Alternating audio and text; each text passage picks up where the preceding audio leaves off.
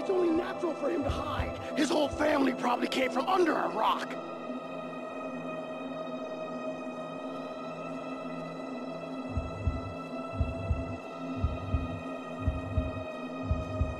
I can't find the scumfucker!